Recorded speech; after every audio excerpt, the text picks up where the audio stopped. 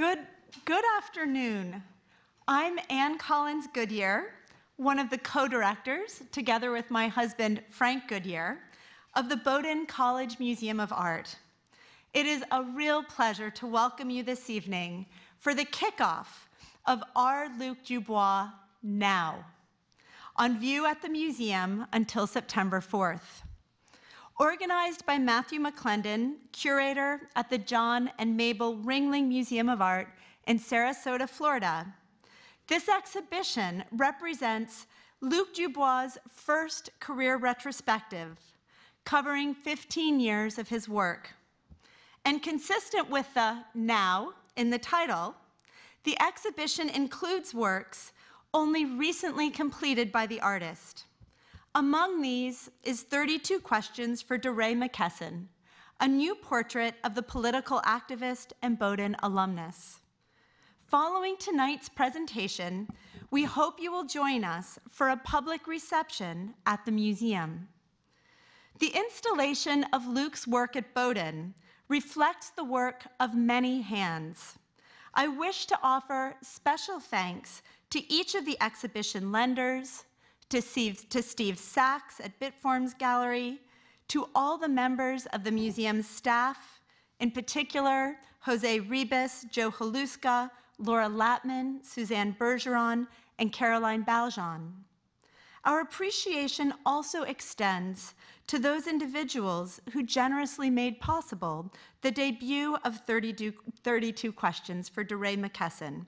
A sincere thanks to Mr. McKesson himself, and to the Bowdoin students who contributed questions to the interview conducted by Luke DuBois as the basis for this work. In particular, we wish to express our appreciation for the efforts of Danny Mejia Cruz, president of the Bowdoin Student Government, and to Ashley Bamboka, president of the Bowdoin African American Association, for their work to solicit and compile questions from their fellow students. We thank the artist himself for his exceptional professional and personal generosity in making possible a stunning exhibition and a powerful addition to our collection. We acknowledge with gratitude the critical contributions from the following endowments Stephen L. Frost Endowment Fund, the Elizabeth B.G. Hamlin Endowment Fund, and the Sylvia E. Ross Endowment Fund.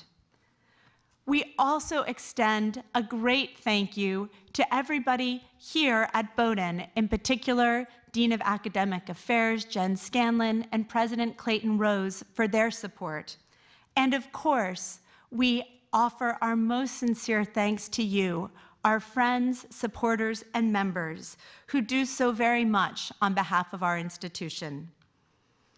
As you will learn momentarily, Luke DuBois is an exceptional artist and one who blends numerous disciplines to produce works of art that give us new perspectives on ourselves and on the world around us. His work has been exhibited internationally in exhibitions and film festivals from New York to Sydney to Seoul, and has been published widely in, in, numerous publications, including the New York Times, Esquire, and National Geographic. With a doctorate in musical composition from Columbia University, Luke is also the co-author of Jitter, a software suite used by numerous musicians. He appears on nearly 25 albums, both individually and as part of an avant-garde electronic group, the Freight Elevator Quartet. Although well known as an artist and musician, Luke teaches engineering and is the director of the Brooklyn Experimental Media Center at the NYU Tandon School of Engineering. It will thus come as no surprise that Luke uses musical and computational strategies to create sound and visual art. His work foregrounds information as a medium, much of it drawn from the ubiquitous flow of facts and figures across the internet and social media. Luke helps us to rethink the strategies we use ourselves to transform data into knowledge by developing new techniques, both playful and profound, to draw out meaningful and revealing patterns and observations that might otherwise escape our notice. Tonight, we are certain to be treated to many more insights from this outstanding thinker and artist. Please join me in welcoming Luke DuBois.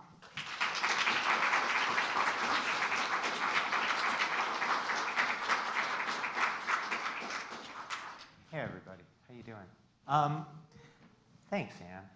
And I really want to thank um, Anne and Frank for, for having me up here. And um, for years of friendship and collaboration, it's really a treat to be up here at Bowdoin. And um, this is pretty informal. I'm just going to show you some things that I have kicking around on my computer that I think are interesting, and we're going to talk about them. Um, how many of y'all ever seen this movie, Desperately Seeking Susan? You know what I'm talking about? Okay, this is a movie, just for those of you who've never seen this. This is a movie from 1985, uh, starring Madonna, actually. Um, and, and one of the conceits in, in the movie, uh, the sort of core plot line, is that um, there's, a, there's a, a, a, couple that communicate through personal ads um, in the back page of the Village Voice in New York. Um, and uh, someone sort of outside that circle, right, Patricia Arquette, you know, sort of becomes obsessed with that and sort of inserts herself into this kind of romance. Um, the version of the back page of the Village Voice that exists today, though that still does exist, um, is the misconnections feed on Craigslist. I, I don't know if you're familiar with this, but on Craigslist, they have a personal section, and one of the, one of the better sections in it is this thing called misconnections, where you can post if you have a, you have a romantic encounter with someone and you, and you don't get their phone number, basically, you can write and, and maybe they'll find it. And I have a theory that people are dumb and that they that someone and that these people will have this encounter and one of them will post and the other person will post and they don't check. Right? And so um, right? So uh, so this is a piece um, that i made for valentine's day about five years ago that takes your local misconnections feed grabs it all and starts comparing ads um, looking at the words that are in common and estimating the percentage chance that these people are talking about one another. Um, and so words like we and you and I don't really matter, but a, a, name would matter or a place, and then it estimates the percentage chance. And if it um, gets above, so this isn't going to be very much, um, but if it gets above about 85%, it will email them and put them in touch. Um, so this is my, my little public service. See, 24%. So this isn't going to make it. This is Maine, by the way, so it's looking through the misconnections of Maine. Um, and, you know, and that is kind of a little bit of a, you know, sort of starting point of how I think about um, the work I do. I, um, I make uh, portraits, um, but they're kind of odd portraits instead of them being oil paintings of famous people, ideally on horseback with swords. And ideally dead, right? Um, I make things that are, that are, you know, sort of more about us and what we're looking for. Um, and just to give you some, some background in it, um, the way it all started was, um, first thing you need to know about me is, is I flunked out of engineering school. And I flunked out of engineering school because I fell in love with a machine. Um, this, this machine, in fact. Um, this is something called the RCA Mark II synthesizer. Um, and this, is, this lives um, at Columbia University in a thing that used to be called the Columbia Princeton Electronic Music Center, which is the oldest center for electronic music in the Western Hemisphere. It was founded in the 1950s. And it was built as part of an elaborate confidence scheme perpetrated by these three gentlemen upon the Radio Corporation of America, where these three folks, uh, this is Milton Babbitt, who is a professor of composition at uh, Princeton. This is Vladimir Ussachevsky, who is a professor of composition at Columbia, um, and this is a guy named Peter Mauzey, who is an engineering professor at Columbia. Um, they basically swindled R, uh, RCA um, into building them this huge machine for making music by telling them that if they built this machine to their specifications, within 10 years it would replace the symphony orchestra. And the Radio Corporation of America at the time, you know, sort of, it's sort of the iHeart Radio of its day, if that makes sense, owned multiple you know, radio stations, all of which had um, very expensive unionized staff orchestras. So they sort of thought to themselves, okay, well, if these dingbats really think this will work, we'll build it. So a quarter of a million dollars later, they have this machine. A quarter of a million dollars in 1950s money. Um, and um, it makes four notes at once. One, two, three, four. Um, it's run with a paper tape drive, kind of like a player piano. And it makes you, your sound um, off screen, sort of over there, is a shellac record lathe. So you would like make your score on punch tape, you would run it, it would make you a record, and then you would go into the next room and listen to the record, realize you messed up, fix your paper tape. If you actually know a little bit about what that means, that means it's a real-time system, so the workflow implicated in this is galactically dumb, because they could have just hooked it up to speakers. You don't actually need to write the, make the record, but anyway, it doesn't matter. Um, and this thing was like, you know, pretty cool. And um, and, uh, and I, uh, I, took a, I took a job, not even really a job, but I, sort of a job, restoring it. Um, and it sounds like this. Let me see if I can get it to play for you. Um, RCA Mark II. Yeah, this is what it sounds like. I got about 30 seconds of sound out of it um, before it took out the power. Um, and still in tune after all these years. It's cool. It makes some white noise too. It can go like percussion You can do that. Um, you know, it's pretty cool. Um, and this thing was huge, right? This thing was about the size of this room. Um, and it didn't really last very long as technology because within about five or six years, um, some uh, smartass uh, designed something called the transistor, um, which allowed you to shrink the whole thing. So this is a synthesizer that I used later. This is about the size of a cabinet and can do everything that that huge machine can. So I started touring with this. And um, this is something called a Buchla, um, which was built in the 1960s, mid 1960s, in San Francisco. Um, and I started improvising and performing music using these machines, using these machines that kind of look like patchboard, you know, uh, phone switchboards or something like that. And I thought that was cool, but there was one problem with them, which is that um, they were really temperamental. Um, and I had a band um, which Anne alluded to. Um, and this is a photo of my band. Yeah, there we go. Um, this is at the kitchen in 1999. Um, and the problem was, so we played this gig. I'll just tell you the story. Played this gig at this club on Bleecker Street, in New York, called the Elbow Room. And depending on whether the light switch was turned on in the women's room, my entire system would slow down by like a really unfortunate musical interval, like a minor ninth or something. So like, so like it would be playing and it would be like do do do do do do do, and someone would have to go pee, and it would be like. So that was like not great. That was not optimal. Um, so I switched to a computer. Or I switched to a computer. Um, and, and the thing that I did um, first was I tried to make a replica of the thing that I'd been performing with, right? So, um, so just to show you what I used to do, because um, this will maybe make sense, um, I used to perform with, you know, this thing called Red Panda. Um, and you can see him, right? There's his nose, and there's his eyes, and there's his ears. Um, and, the, and the metaphor of the machine is, is based on drawing, so I can sort of doodle, right? I can like doodle a little shape, and it'll, it'll play it for me. It's like a melody right? Pretty cool. And there's lots of stuff that does this today. This isn't particularly novel or anything.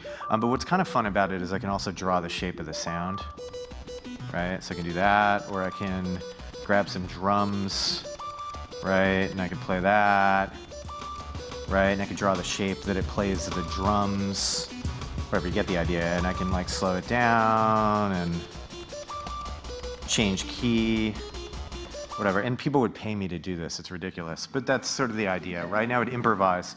Um, but the other thing we wanted to address is that this was my band. We had a cellist, and we had a didgeridoo player, because that's what you do. And we had a guy who played a bunch of drum machines, and I would play these synthesizers and later a, a computer. And we realized pretty quickly that maybe one of the problems was we were kind of boring to watch. Um, and so we thought, well, we got a computer now, let's do something with it. And so we started integrating video into our performances. Um, and so, like, if you look at this, this is me. Um, and um, this is what happens. And so um, it's a little hard to tell, but this is responding to my voice. So if I talk, it sort of jumps around. And it's all based on doing this analysis. This is something called a spectrum analyzer. This is that thing on your car stereo You know what I'm talking about? That bounces up and down, and, and like you're really like stoned late at night, and you're like, "That's the guitar, that one right there, right?" So like, and you know, and you never quite know what it what it's for or whatever. That's what this is. So this is showing you how loud the bass frequencies are versus the treble frequencies, and all it's doing is it's scrubbing time. It's using time as a parameter for visualization. So if something's really loud, you see now, and if it's really quiet, you see 10 seconds ago. And that's it. And so what we would do is we would take these radio-controlled um, cameras, radio cameras, wireless cameras, and, and stick them inside Nerf footballs and pass them out in the audience. And then the audience would play with the footballs, and they would see this something like this on screen, right? Um, and this proved a couple things. One, one thing it proved is that um, what was happening was actually happening in real time because they weren't there. So like we couldn't have faked it. We're not up, up on stage playing a compact disc right? We're actually performing live. And it allowed them to get engaged because there's a problem, um, you know, there's a problem with computer technology and how it's used in the arts. And it's not a problem with computers. It's, a, it's sort of a problem with us and how we perceive computers in society. Um, and it's sort of, sort of, I, sorry, I don't use PowerPoint, so I just kind of write stuff. Um, but one way to think of it is, is you can think of it as a, as a problem of transparency versus opacity. In one way, a computer is completely transparent. So if you see someone, a musician, using a computer on stage, you think to yourself, I have a computer, so I know what they're doing, right? Except you don't, because the computer is also incredibly opaque. Like they could be up there checking their email, and you have no idea, right? Um, a, a, way to make this kind of a slightly smarter um, conversation is to, is to switch to French because um, that's what you do. Um, and so these are, these are two um, terms in French, jouissance and plaisir. So the, you know, these, are, these are words that roughly cognate to joy and pleasure in English, but if you're a, if you're a native French speaker, um, they're, they're quite nuanced. Um, there's a performance artist named Coco Fusco who has sort of the best, you know, kind of condensed definition of this. Um, uh, plaisir is a really nice car. Jouissance is having sex in the back of a really nice car right? So now you all understand the difference, right? Um, so, um, so if you think about technology, because computers are not the only technology we have available to it. Like a cello is also technology, right? Tech, you know, a cello is a jouissance item, right? Or a canvas, a painted canvas is a jouissance item. A computer is actually a plaisir item. It's, help, it's meant to help us do our taxes, right? So the trick when you're working with computers and art is you gotta, you gotta actually jump this hurdle just to convince people that it's of the same value as what they're traditionally what they traditionally associate with the arts. Um, so that's sort of the thing I've been kind of hacking on for a while. And um, and so what was my point? Oh yeah, so here's what happened. Um, so I was working on this stuff and I started realizing you could sort of transform a sound into an image in some way. Um, and the real kicker was this little little trick here. I'm going to talk into my computer for a second. Um, sorry, I do this a lot. I apologize. My dog has fleas. Testing one, two, three. Okay, is this going to work? Fleas. Hey, there it is. One, two, three. Hey, look at that. Okay, this is a sonogram. My dog has fleas. Testing one, two, three. Shut up. Um, and this is a pretty normal way to visualize a sound. So that red line is time. And these are low frequencies, and these are high frequencies.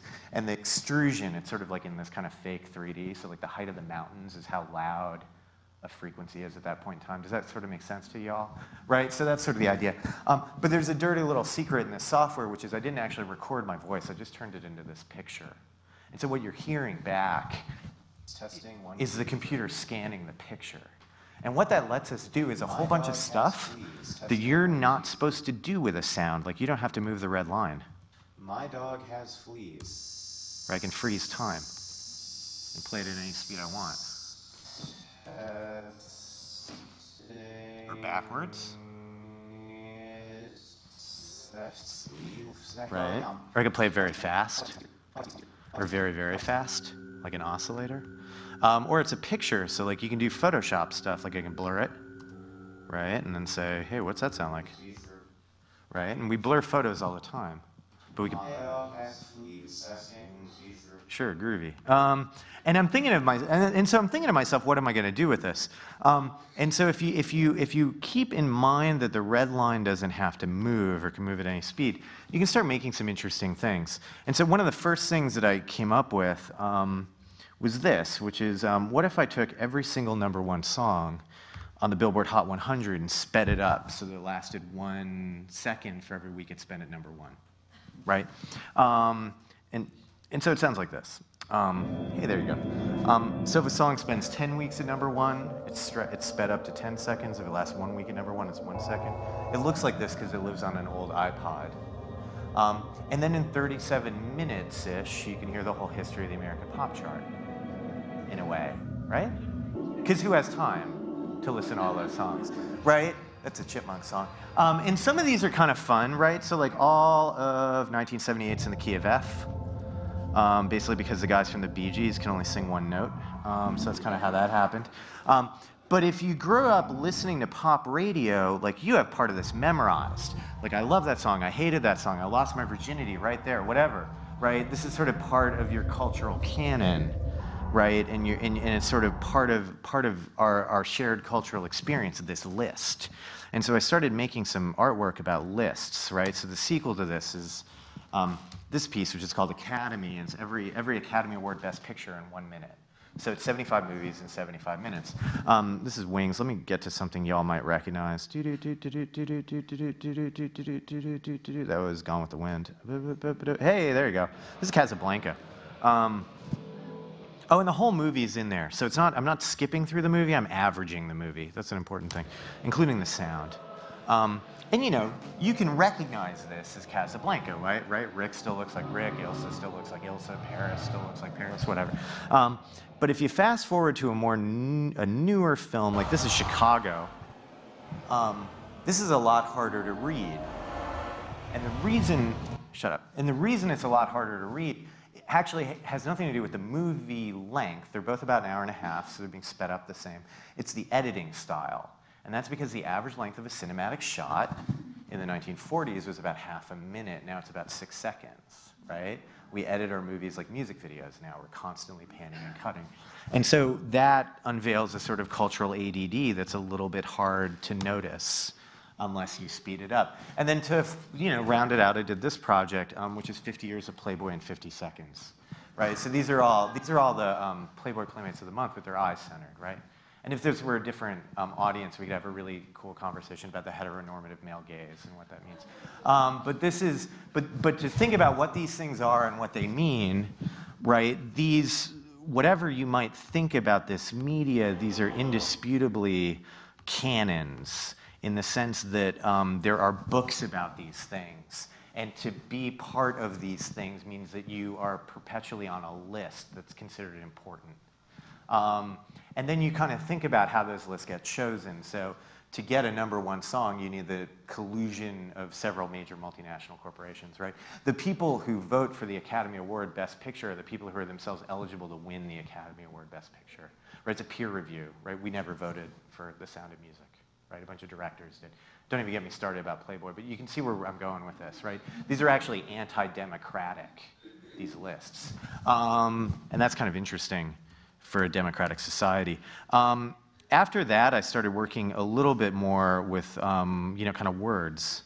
Uh, and so this is a project that's a lot of fun. Um, this was commissioned uh, for the um, Democratic National Convention in 2008 in Denver, Colorado. So the convention in which, um, you know, Barack Obama was nominated by his party to run as president. Um, and this was, I had about a two-year jump on this project. And uh, the premise of it was to do something with um, political text and to think about how to look at political text historically and from this kind of 30,000 foot view. Um, and so what they are is, is, is they're portraits of presidents, but instead of being paintings, um, they're eye charts. Like when you go to the doctor, eye charts, except instead of letters, they're words. Um, and so these are the 66 words in George Washington's State of the Union addresses that he uses more than any other president right? So his number one word is gentleman. Um, George Bush, who was president at the time I made this piece, his number one word was terror. Okay. Um, so um, Bill Clinton uh, spent an inordinate amount of time talking about the century in which he would no, no longer be president, right? Or maybe his wife would be. You know, um, uh, some of these you can guess. Ronald Reagan is deficits, right? Richard Nixon is truly Richard Nixon is truly for a pretty specific reason. Richard Nixon's speechwriter was a fellow named William Safire, um, who is an amateur linguist. And he was the first presidential speechwriter to do statistical operations on the speeches to figure out word counts so that he could try to game the rhetoric of his boss, right? So you've got truly an environment vision, right? Stuff like that.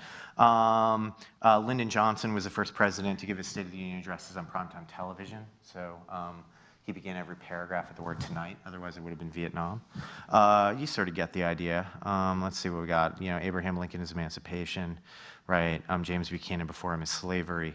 If you look at these um, in situ, they look like this. They're very large light boxes.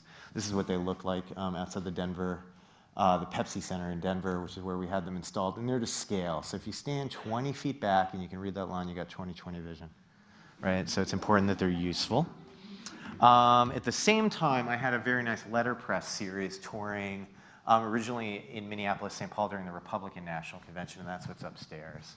Um, so that is kind of a portrait series, and it's a portrait series of the United States, but through a pretty specific lens that once I actually thought about it, I wasn't too happy with because it itself was also anti-democratic. It was sort of about the leadership, um, is what, how presidents define us, not how we define ourselves.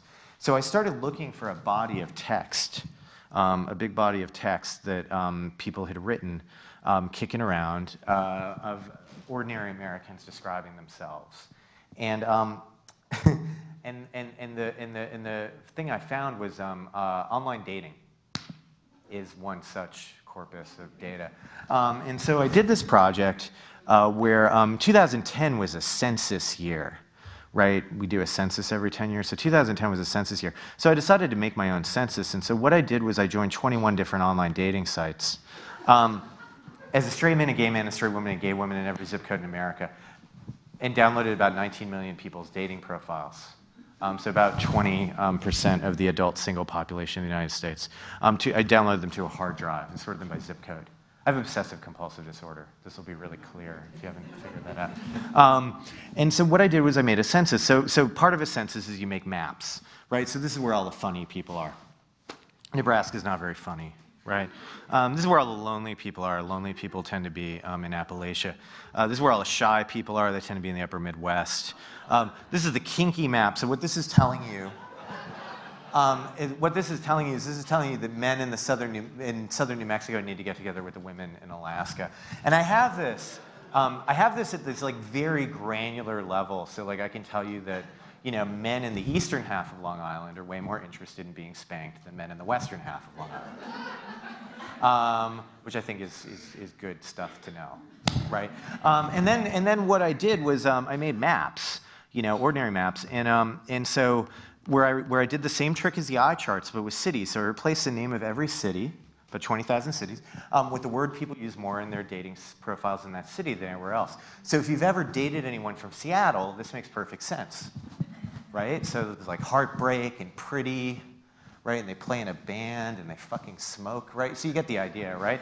Um, and this is this up here. This is Redmond, Washington, which is the headquarters of the Microsoft Corporation they really have nothing to say. Um, um, and some of these you can guess. So like, uh, you know, Los Angeles is acting, right? Um, and, uh, and San Francisco is gay. Um, let's see, what are, some, what are some other good ones? Um, I grew up, where am, where's New Jersey? Here we go, here we go. I grew up somewhere between annoying and cynical in New Jersey, which kind of makes sense. Uh, you know, people, people, but some of them are a little bit more heartbreaking and thought-provoking, right? So like folks in, in Washington, D.C. will say they're interesting. People in Baltimore will say they're afraid, right? Um, folks in, uh, in New Orleans, right, will, um, will still talk about, um, if I find the New Orleans map, which is up here somewhere, there it was. Um, people in New Orleans will um, still talk about the flood, right? But people up in Baton Rouge say they're curvy, right? So you sort of get the idea. Madison, Wisconsin is pierced, good college town. Um, Bangor, Maine is waitress. Um, New York City's number one word overall is now, as in now I am working as a waiter, but actually I'm an actor. Um, but if you go down to the zip code level, um, you can see some stuff. Like I live somewhere between unconditional and midsummer in Manhattan. Um, this is gentrified North Brooklyn, so you've got words like glamorous and hipsters and narcissistic and hoodie and you know whatever. Um, so this is called a more perfect union. Um, and this was a project, you know, about trying to use this kind of big data strategy to make a portrait about ourselves. Um, and then I have a sort of personal one that kind of rounds out the trio, which is this, which is all my email. Um, this is a self-portrait. This is uh, what you call a quantified selfie. Um, so what I did was I took all my email. I have sent about half a million emails in the last 20 years. Um, and ran it through some stuff. And uh, what it is, is it's a physics equation. It's something called a force-directed graph, which is all the latest and greatest in data visualization because you can be lazy and you don't have to label the axes. But, but the basic idea is you have to imagine there was a big bang right here. Um, and everybody I've ever talked to, everybody I've ever written with, flies out at like kind of a random angle, right? Um, but then everybody has gravity to one another. And, and you have gravity based on carbon copies, you know, so like who's talking to who that I know about. And the gravity is based on how much you've been emailing, how long you've been emailing. But it also does sentiment analysis. So if I say I love you, you're heavier, okay, um, to me. And so um, my email addresses over the years kind of scatter in the middle, like kind of a mainline star system. And if you zoom right in, you see all the people who are closest to me, right? Um, and I handwrote all the names. Um, so it's a big print and it's upstairs. Um, and you can also, you know, use it as a way to kind of look at who's associated with who and why and how and all that kind of stuff. And it's kind of interesting. Um, and you know, it's a way to it's a way to make a self-portrait these days. Um, not all of these things that I make are uh, that's my Facebook one. It's kind of the same deal. Um, not all the things that I make are, are, are necessarily um, quite as fun or funny. Um, so I'll just show you a couple other little projects, and then I'll um, show you DeRay and talk you through it. So, uh, like an example would be this. This is a portrait I did. This is actually how I met um, the Goodyears. Uh, how I met Anne and Frank um, was um, uh, I brought this down to the National Portrait Gallery um, to pitch it to them. This is a portrait I did of Britney Spears. Um, and there's a story behind this. This is a good story. Um, in 2002, DARPA the Defense Advanced Research Projects Administration, the people who brought you the internet, um, had this design challenge. They, they set this competition up um, in 2000, early 2002 to engineering schools around the, around the United States, including my own, saying, hey, we got this problem. If we give you a bunch of videotape, any old videotape, unsorted, we're not going to tell you anything about it. Unsorted, unlabeled, you don't know where it's from, you don't know why, you don't know how long. Can you find us one specific person in that videotape? So in 2002, you can imagine who they were looking for, right? Um, and they didn't actually find him that way, which I think is interesting. But the winning team, which is out of Cal Poly San Luis Obispo, right, largest public engineering school in the United States, um, came up with this um, algorithm, this thing called a modified Haar cascade, that works pretty effectively if you have enough um, training data. If you can put in enough known photographs of the person you're looking for, works pretty well. So what I did was I, I trained it on the one person who you never need to surveil that way, which is Britney Spears. So I downloaded 2,000 paparazzi photos of Britney Spears and taught my computer to find her and her alone and lock her eyes. Um, and so what this is, this is all her music videos with her eyes centered and the frame panning around. Because, you know, we got this really funny double standard, right, about surveillance in society, right? We really hate being surveilled, the idea of being surveilled, but then we surveil celebrities all the time. So I thought that was kind of a, a thing to try to comment on. Um, this is a this is a newish project um, that's a little bit um, tricky to describe, but it's it works. Um, this is a this is a Walther PPK uh, nine millimeter semi-automatic handgun uh, that was used in a shooting in the French Quarter in New Orleans um, two Valentine's days ago in an argument over parking. These are my cigarettes. Um, this is the house where the shooting took place. Uh, this is some barbecue I ate. Um, this is a hardware store I had to go to like 15 times to find the fucking hard to find drawer. Just. I was like, really? Um, I need a grommet. Um, this, so this is an Internet of Things piece. Um, the Internet of Things, which is sometimes called connected devices, which is a better title. Um, but the idea that like, you know, you can have um, something on a network control a physical device. This is an Internet of Things piece. Um, so you take the gun and you, and you weld it to a big steel plate. And then you go home and then you get attacked by a rooster. Anyway, um, and then um, what you do is you build this mechanism, and this mechanism is a bike chain rigged as a camshaft that's dri driven by a little stepper motor that's controlled by a computer. And you bury that mechanism mechanism in a box and run a little wire up from the box around the trigger of the gun. And then what you do is you um, put the um, device into a little gallery, and what you do is you put the computer online, and you have it listen to the 911 feed of the police department of um, the city you're in, so that um, anytime there's a shooting reported, um, it fires. Okay? Right? This is called data visualization. Right? We call this data visualization. Right? And when you do it right, it's illuminating. When you do it wrong, it's anesthetizing. It's an important point about data visualization. So there's a bullet, sorry, there's a blank. So there's no bullet, but there's a cartridge right about here. And so there's about six shootings a day in New Orleans. So this filled up, right? This filled up. And this is, and this project's called Take a Bullet for the City. This was in um, the public library in Ferguson, Missouri. It's going to Chicago in a little while. Um, and this is a thing that I've sort of has been on my mind because we are starting to do things that I think are bad um, with data. Um, for example, we are putting bar graphs on newspapers when we should be putting photographs on newspapers, right? So when we're talking about um, you know, a tragedy, right? And we're starting to illuminate it with a line chart instead of an image. And that makes us basically start thinking about people as numbers, right? Um, an earlier piece that I did in that kind of same vein uh, was a string quartet um, called Hard Data that was about this very topic um, as lensed on um, the Iraq War. So this is a string quartet. Um, you guys ever heard of a guy named Iannis Xenakis? X-E-N-A, yeah, okay, so one, at least one person. So Xenakis was a composer, um, Greek composer, uh, lived most of his later life in France. Um, and he, the most important thing you, to need to, there's two important things to know about him. One is he was an architect first. He was um, Corbusier's assistant. But the other thing about him is he, was a, he fought as a partisan um, in, the, in the Second World War in Greece against the, against the Germans. Um, and he had this whole thing about um, writing music to try to make it sound like war. And the way he did it was he delineated between sort of strategy and tactics. So he would write music that had very clear formal lines, sort of like a general watching the armies across the battlefield. Then the details of the music were done stochastically. They were created by a computer running a random number generator. So the individual notes we're like the soldier in the battlefield. Everything is effectively random. And so this is a piece that I did where I took the um, casualty stream of the Iraq War, all the dead men, all the dead children, all the dead soldiers, all the people made refugees, all the dead women, all the people who've gone missing, and scored it as a string quartet.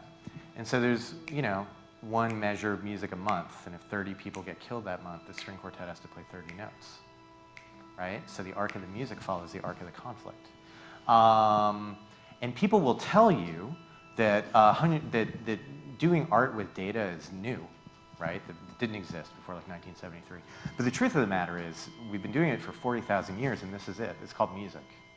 And if you think about what music is, music, if you take the working definition of music as like something time-based with sound and maybe instruments and throw that out, what music really is, is music is a manipulation of data to make you feel something right? And so that's what everything I do is, it's music. Um, and so I was thinking about this, you know, this piece. And I was also thinking about this piece because of the, you know, the commission that I did for this show um, is based on a really interesting guy. Um, and I just want to show it to you for two seconds, and, then you guys can ask me questions and we can go upstairs and look at it. Um, DeRay McKesson is a Bowdoin alum who, um, if you don't know much about him, is a, is a fascinating character. He, um, after his time here, he uh, uh, was a Teach for America Fellow and then took a job eventually um, in Minneapolis, St. Paul um, as an administrator, uh, sort of human resources administrator in the public school system. Um, and when um, Mike Brown was, was shot dead in Ferguson, uh, he uh, had insomnia watching TV and got in his car and went down there initially as an observer just to see what the protests were, and then he was tear gassed and he became an activist. Um, and he's a pretty interesting guy. And one of the things that's interesting about him is he uses Twitter a heck of a lot.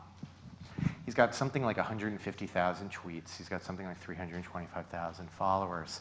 And so the way this project worked um, was uh, we crowdsourced an interview with the help of um, some of the students here, put together an, a slate of interview questions, 32 in all, I filmed um, him in New York and had my students down at NYU Engineering deliver the questions. And then as he speaks, these are topics that are relevant to um, the conversation. And over here are, is a, it's cut off, I apologize, but it's a real-time feed of his Twitter in response to those topics. So if he's talking in a clip about race, you'll see a, a random sampling of his recent Twitter activity talking about race. So the video never changes. The video changes a little, but the corpus of video never changes. But the data that you see on top of it will always change and will never go away. Is, right? Will never will never become out of date. Right. Like this is this is not the America I know. It, it can be different, I'm gonna do whatever I can to to make this a different world.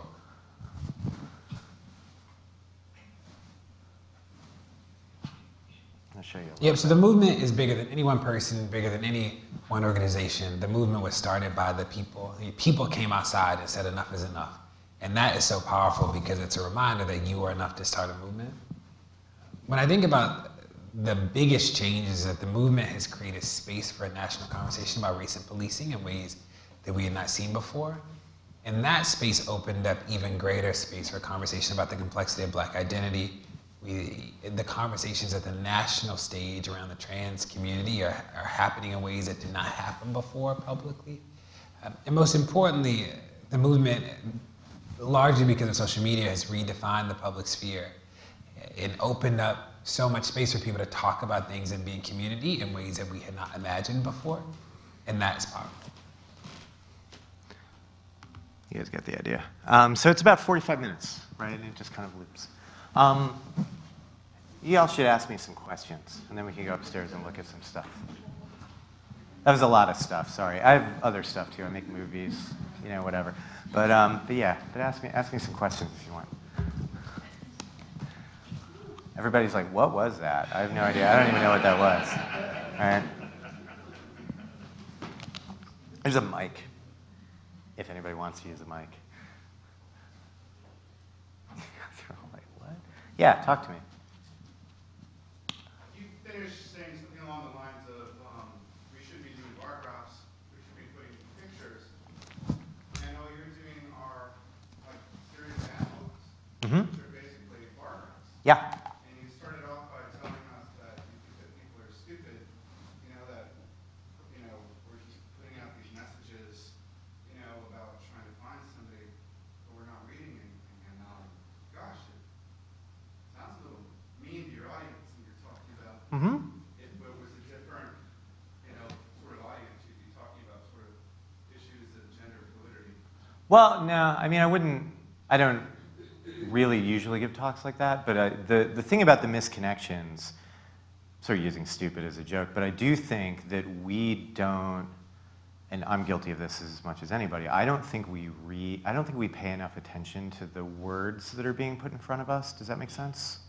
So like one of the things, like with that Iraq war piece, like one of, one of the, the, the string quartet, right? Like one of the things that I noticed in the Iraq war was that was a conflict that we were fighting where more of us had data than knowledge.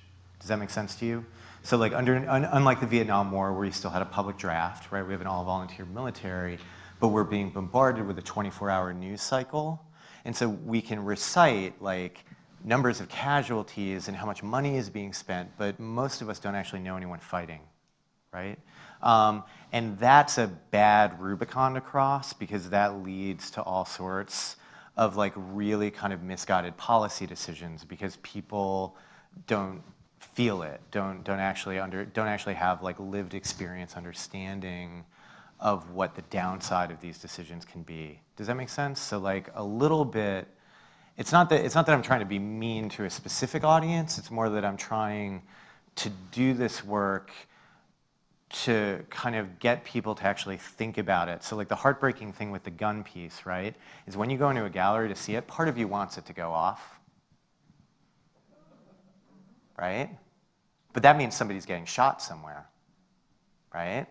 But part of you wants it to go off. Everyone has to admit that to themselves, right? And that's, that's the danger of the data visualization thing, right? That, that like the bar graph always goes up and part of us kind of wants it to right? I don't know, um, because you're, you're talking about levels of, you know, humanizing. Mm-hmm.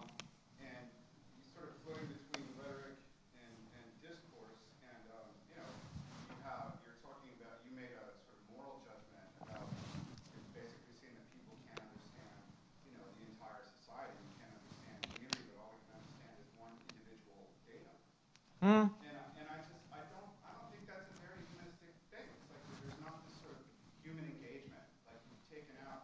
Yeah. personal aesthetic and you're just mm. Yeah. We're supposed to see this as sort of like an aesthetic criticism engaging with a collective people. And basically machine's putting a bunch of things out with a bunch of cheats that a lot of us know are cheats and some don't. Yeah. I mean, I think it's sure. exciting and it's fun what you're talking about. Huh.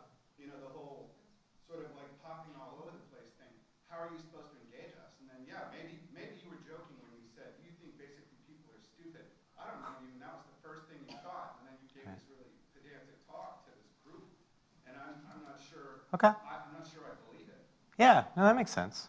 It's interesting because you know that one of the things that I think about a lot. Um, so here's the thing: this isn't science, right? This is art, right? So it has the same relationship to science that science fiction does to science, right? So part of it is about I'm showing these things not so that like you can look up your zip code in a dating map and find out where your word is, more about just so you see all the words and start asking yourself questions about like how how is it we talk about ourselves in this way? Do you know what i mean? And i apologize for the tone if that's if that's inappropriate but the the part of the way in which i try to convey these things is i think about i think a lot about a, a i think a lot about information as um, you know, something that we don't have a, a, super tight literacy on yet. Like there's more, there's more of it than we know how to handle. And that runs the gamut from me having like 40,000 unread messages in my inbox and just not having my shit together on it, to, um, you know, us being fed stuff, you know, in the national media based on statistics without understanding the provenance of those statistics right? So like a good example of this is, is, is the way in which um, the word average is used in the media. Have you ever noticed this? So like, um, you know, when people say something like, you know, the average something, like the, like the average, like the average income of the United States, right? Depending on, so there's sort of three common statistical ways to delineate average, right? You can have the, the median, right, which is just you add up everybody, divide how many people are, right? You've got, sorry, that's a mean. You've got the median, which is you find the split point where half of the people are below and above, and then you have the mode, which is sort of the largest statistical slice, right? And so people on the political right will tend to quote the mean. People on the political left will tend to quote the median, because this makes us a richer country, this makes us a poorer country. Social sciences, scientists will usually quote the mode. And that kind of thing is prevalent all over the place. And it's something that's used so casually um, in journalism, um, and in editorial writing, that we just sort of take it as like gospel without actually thinking where those numbers come from. Does that kind of make sense? So like I think about that stuff a lot, and it like stresses me out, right? It like you know, it kind of it kind of like you know what I'm saying? It like stresses me out that like you know and, and, and it's not and, it, and, and everybody's guilty of this right? So like when i read new york times editorials like i want to tear my hair out because they don't they're not like they're not fucking sourcing their data correctly or to my satisfaction they're not they're not you know so they're not really telling you where those numbers are coming from. And so that's why i play with them right? And try to make these pieces that are based on these words. Yeah. What else folks? Yeah anne what's up Luke, one of the things that I find um, so fascinating and exciting about your work is precisely that I see it as the intersection of um, many different disciplines. I think it's, from my standpoint, really exciting to see a musician playing with the visual and applying some of the computational dynamics of music making to analyzing pictorial information. And for me, it provides a way to rethink some of the conventions through which we understand information. And it, for me, it gives me the, the um, at least the, the, the, sensation that maybe I'm more aware of the conventions that are usually invisible to mm-hmm. me. Um, so that is very exciting. But another thing that I find incredibly um, uh, intriguing about your career is that your day job, um, mm-hmm. so to speak, is being an engineer. Well, being an engineering professor, and, and which is know, not the same thing. And, so I know that one of the things you focus on um, as somebody who thinks about engineering is the whole question of um, disability, yeah. which then has this flip side of access. And so I wondered if you might be able to load. say a little bit about why it matters that you are a creative practitioner who also is charged with solving quote unquote practical sorts of problems. And if you could say a little bit about the intersection between um, the arts and engineering from the standpoint Sure. of creative practice, um, but also problem solving. Yeah, sure. I mean, I mean, well, this is like a false, you know. So there's like the there's a false dialectic set up in education, right, between um, the idea that artists ask questions and engineers solve problems, um, and that they're not actually supposed to talk to one another, um, which is something that maybe you don't experience at this school necessarily, but it's something that um, every institution I've taught at has been sort of set up as a given, and it's a drag. Um, and so what I do, I've, I've sort of have a job where I run a digital media program at an engineering school, um, which means that my students are looking at the intersection of engineering and, crea- and creative practice. But it is not per se an art program, and so a lot of what we look at are um, ways in which creative solutions present themselves to engineering problems. And, and one of those um, one of those spaces is, um, is, is things like assistive technology and adaptive design for persons with disabilities. So this is one of the labs. Uh, this is the lab that, I'm, that I run at my school, and it's, and it's called the Ability Lab. And a lot of it is about um, teaching engineering students about client-centered and human-centered design. Um, so um, the undergraduate disability studies class that we run, it's taught by a colleague of mine named Alan Goldstein, um, is a you know, sort of like superficially an ordinary disability studies class. You read books and you watch movies and you discuss, but you also do a client-centered design project with, um, uh, with that we do in collaboration with United Cerebral Palsy. So we have two engineering students um, working with a client, um, working with an adult living with cerebral palsy. Their first job is to make a documentary film about that person, right, which teaches them empathy and it also teaches them some storytelling skills and teaches them how to talk about um, and talk with this person. Uh, and then they do a design um, intervention, right? They build them something. And so that, so that engineering students are taken out of this space that invention in health is something that you get FDA approval on and you patent the shit out of and you make a million dollars. Instead, it's all about, you know, this is Steve. Steve can move two fingers on his left hand. Steve needs an umbrella. Build Steve an umbrella, right? Do your job, right? That's what an engineer is supposed to do. Um, and so that's kind of where we work. Um, and we do a lot of uh, um, interesting projects. I work with um, uh, population at, the, um, at NYU's Hospital for Joint Disease, um, looking at stroke rehabilitation, looking at how to use consumer level technology, things like the Microsoft Xbox, like video game controllers, to allow people to take their therapy regimens into the home so they can do stuff that normally has to be done at a clinical site with an occupational therapist for an hour a week, and they can do it every day in their house for a couple hours. So you sort of gamify health that way. Um, yeah, so we do a lot of that stuff. I mean, that's my day job. That's, you know, that's what pays the bills. It's fun.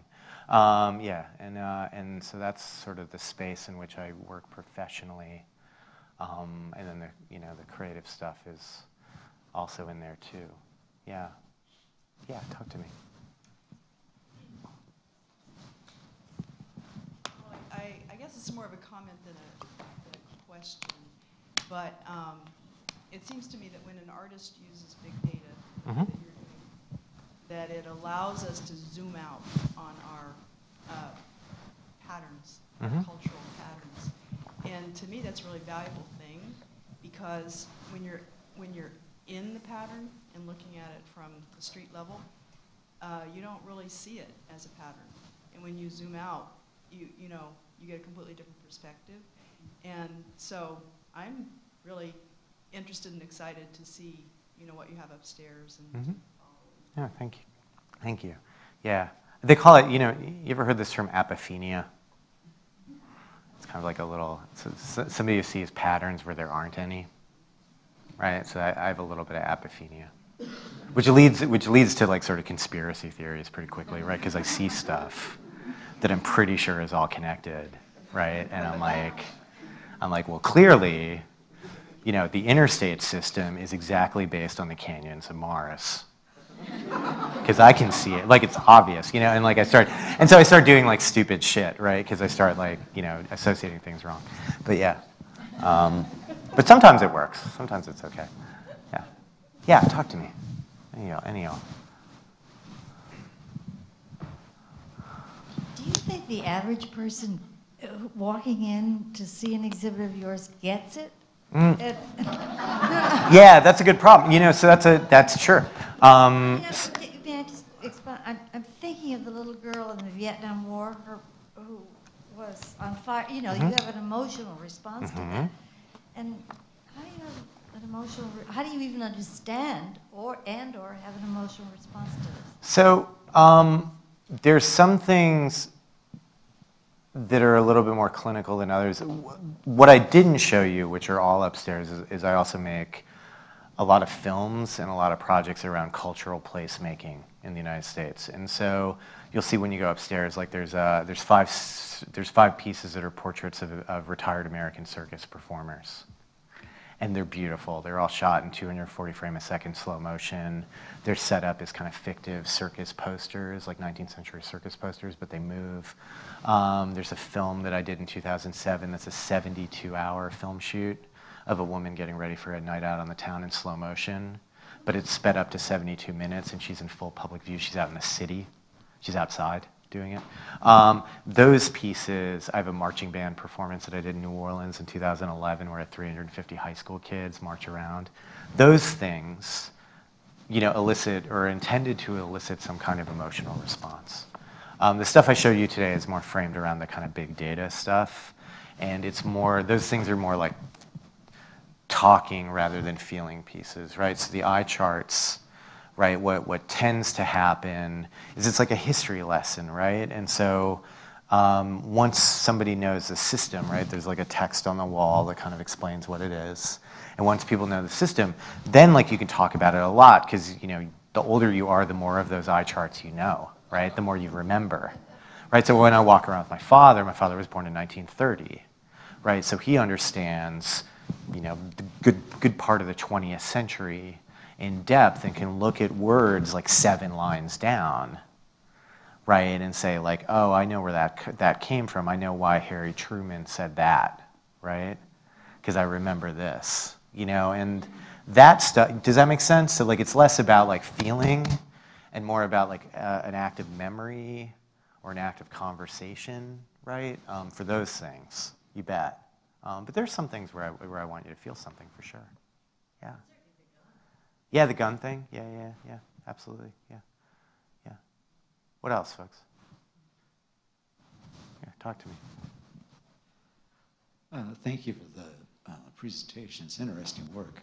Thanks. Um, I, the, the term science fiction was brought up, and, and I, I started, then you went on and uh, we're talking about uh, your work as an engineer. And it seems like you do a lot of um, uh, good social work um, with the ideas and helping people.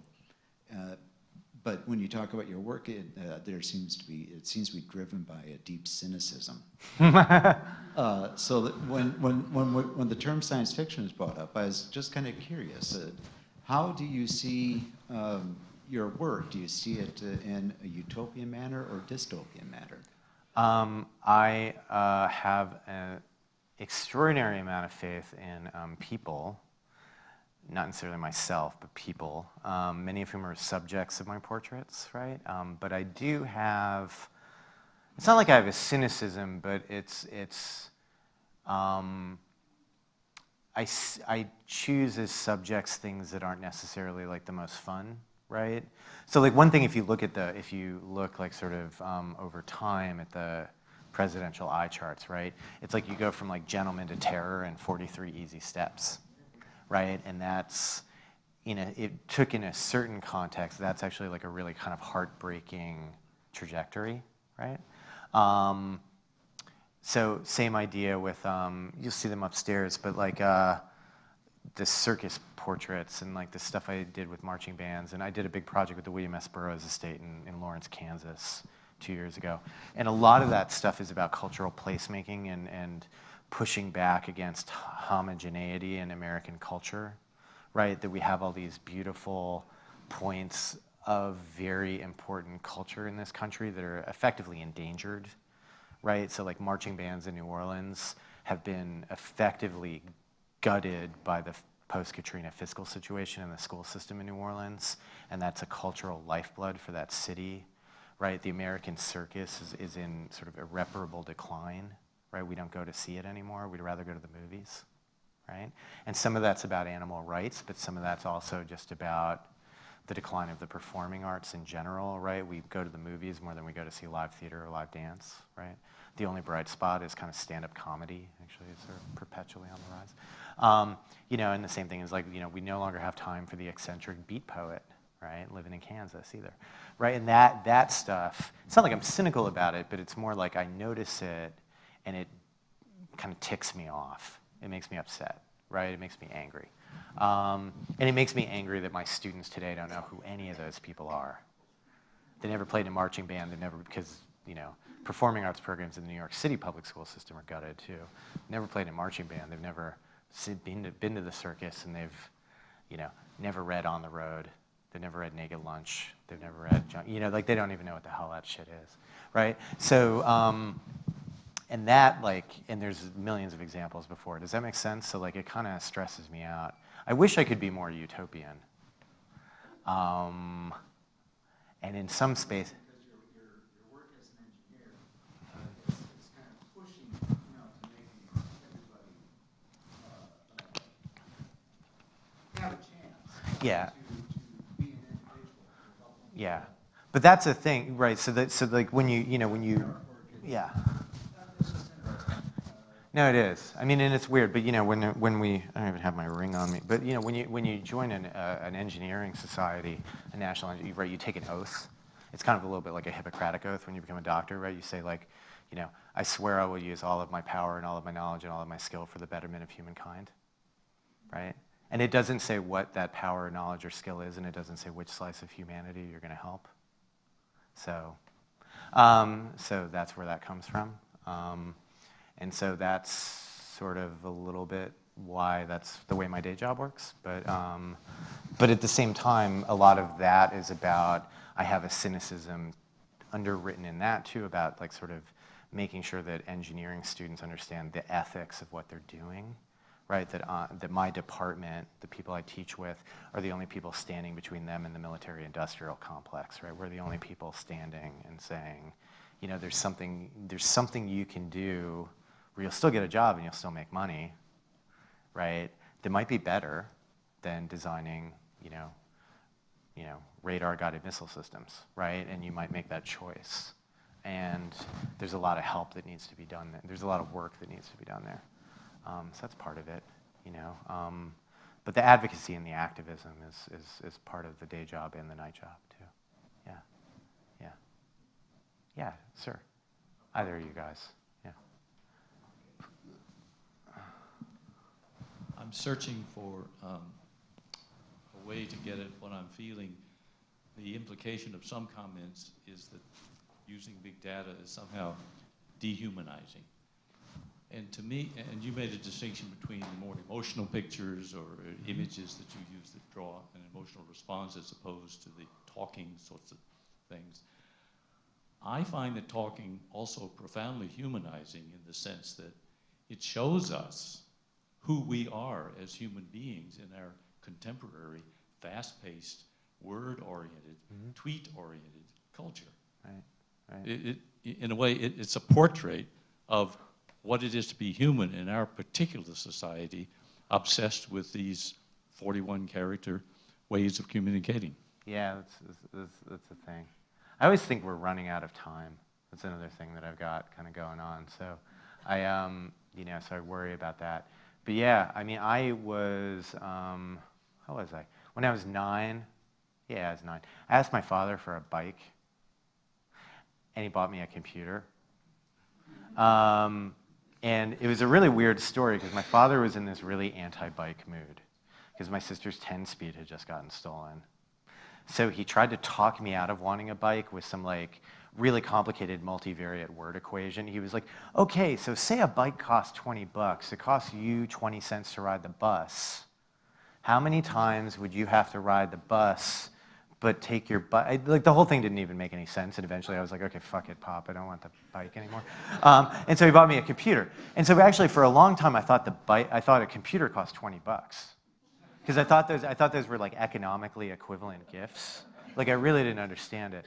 Um, and, uh, and he bought me a computer and, and I taught myself how to program. Um, uh, and one of the reasons I taught myself how to program was I was having like a really hard time um, like expressing myself to other people. Um, and this is like one of the things, you know, and you're absolutely right, sir, like to say, you know, it's like I have a, I have a social interface that's, that's kind of very blunt, right? And so one of the ways in which that's challenging or that's been challenging in my whole life is the, you know, is the way I interact with people is a little bit of a show, right? Because I, I have a hard time, uh, growing up, I just had a hard time kind of like thinking through um, it's almost like an empathy problem. It's not exactly it's not exactly Asperger's or autism or anything like that, but it's like I don't um, I, I, I, I, I am ceaselessly aware of what's going on in my brain, and so when I vocalize things, it's like I'm almost just like excerpting a slice of it while everything keeps running.